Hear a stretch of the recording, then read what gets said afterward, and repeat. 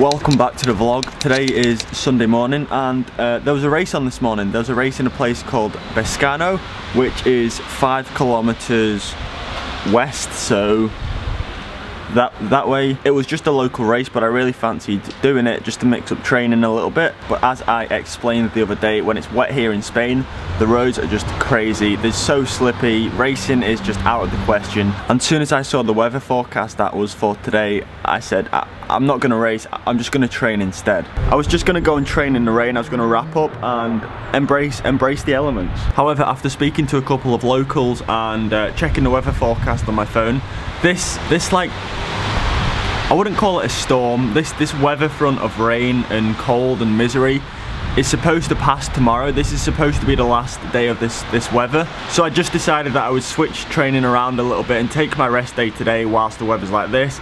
And then tomorrow when the weather's nicer again, resume training and then just remove my rest day that I planned in a couple of days. So to summarise that story in about two seconds, today's a rest day.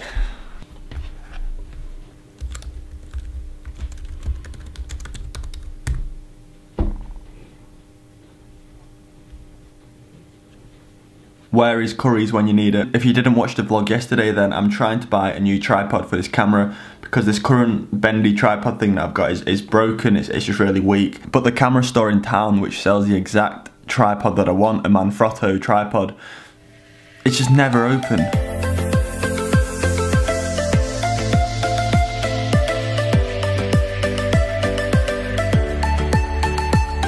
So it's spitting outside now, which I'm not sure if spitting's a universal term or if it's just like an English term. It pretty much means that it's not raining heavy anymore. It's, st it's still raining, but it's not, not that heavy. And this is probably the only opportunity that I'm gonna get to get out of the house today. I wouldn't say that I'm a hyperactive person. I just don't like sitting inside all day. Being confined by four walls, I just like to get outside, even to just walk around in the rain.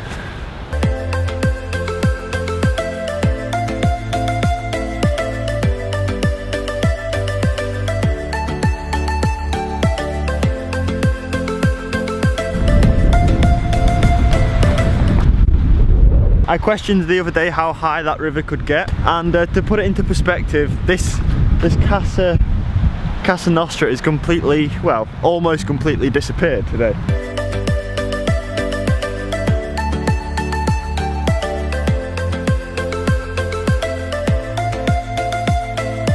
On a rainy day in Girona there's only one place for it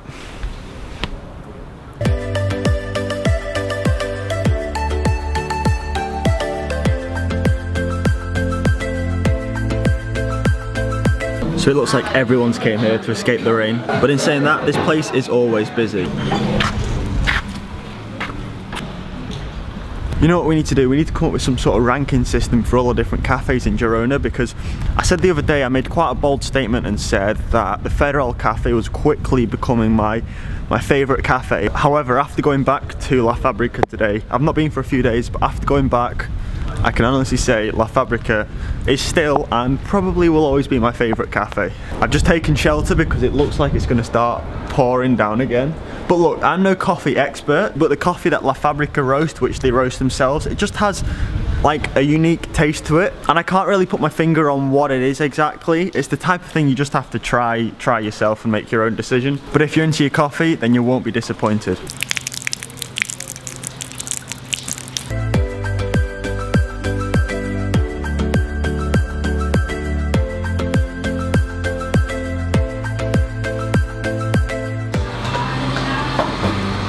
Thank you.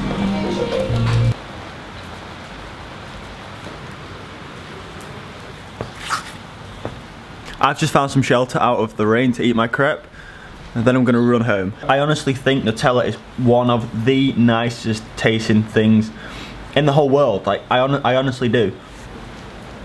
And please don't give me a hard time about eating the crepe. I've, I've, I've eaten a fairly healthy diet since I got here and a chocolate crepe every now and again. It's alright.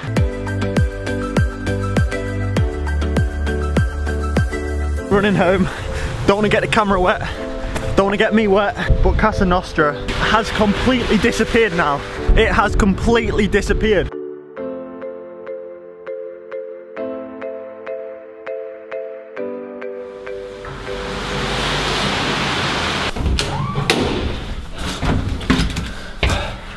Wet. So the Tour Down Under has now finished. Thanks to everyone for joining the first Cycling Cam Fantasy League. It, it, it proved to be a real success. There was like 80 people joined. One second, I'm gonna count exactly how many people there was. Alright, there's 88 people, so closer to 90, which is pretty pretty awesome. So because this league has been such a success, I think I'm going to do this for the future races this season. I'm not sure what races Velo Games are doing next, maybe the Spring Classics. I guess we'll just wait and find out. But the winner, the winner of the Velo Games Tour Down Under Fantasy League is Chain Rub 101. He scored 4,300 points. I'm guessing that's a big score because he won. But thank you to everyone for joining.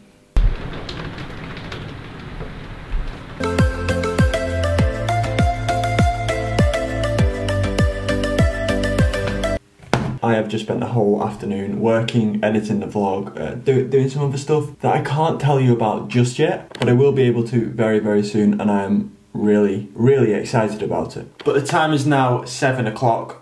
It's dinner time.